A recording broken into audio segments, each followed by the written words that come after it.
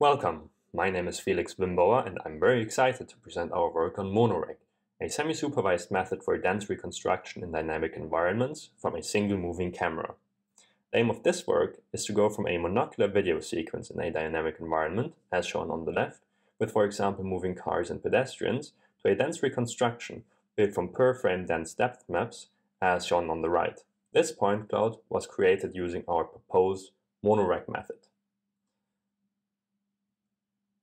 The task of dense reconstruction from a single camera in a dynamic environment comes with several challenges. We can use single frames for depth prediction, however, because of the limited information available, to predict depth might not be accurate enough for reconstruction.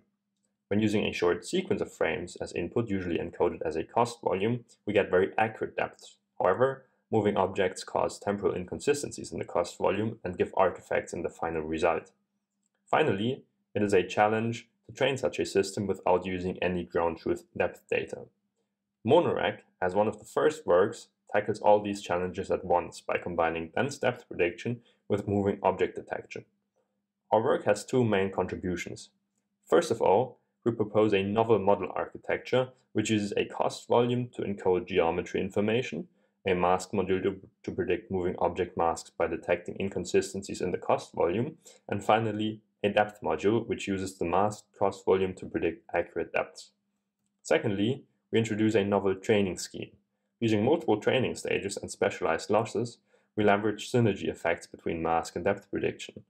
Further, the training is semi-supervised, it only consumes stereo frames during training, and it does not rely on LiDAR ground truth.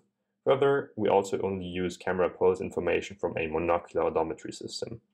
Combined, this yields high-quality dense depth prediction in dynamic environments and state-of-the-art reconstruction results on KITTI, as well as strong generalization capabilities.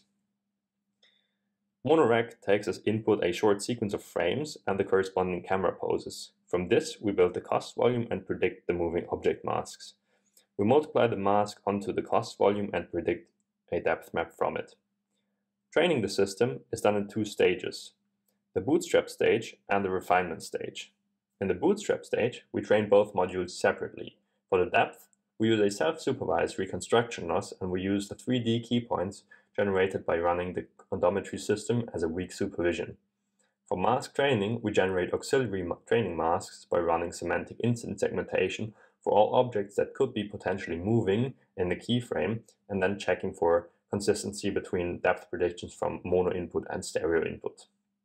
The bootstrap stage itself already gives good results, however there are two issues. Firstly, the depth module does not have any knowledge about moving objects and relies heavily on the cost volume prior. Secondly, the auxiliary training masks do not correspond perfectly to the geometric priors from the cost volume. To overcome these issues, we introduce the refinement stage. For the depth module, we devise a special loss for moving objects, which only relies on stereo images. We use the predicted mask to make a per pixel choice which loss function to use. Further, we add a loss term to the mask training, which uses the mask to interpolate between a depth prediction from a temporal frame sequence, the normal setup which is very good for static objects, and a depth prediction from two frames from the stereo camera setup, which is better for moving objects. We evaluate our method on the KITTI odometry dataset. We compare with some of the most recent classical mono and uh, multi-frame based methods for depth prediction and achieve the overall best results on all metrics. We also conduct several ablation studies which demonstrate that the different contributions, namely the mask module and the multi-stage training scheme, indeed improve the performance. We also demonstrate the generalization capabilities by testing our method on the Oxford RobotCar and TUM-Mono VO dataset, which was recorded from a handheld camera. On both, the network achieves promising results. Finally, we show some more in-depth reconstruction results. This video shows a superior reconstruction quality compared to a very popular monocular depth prediction network. Using the masks, we can also filter out moving objects from the final reconstruction, in this case, a cyclist. Finally, this is a reconstruction from the Oxford RobotCar dataset.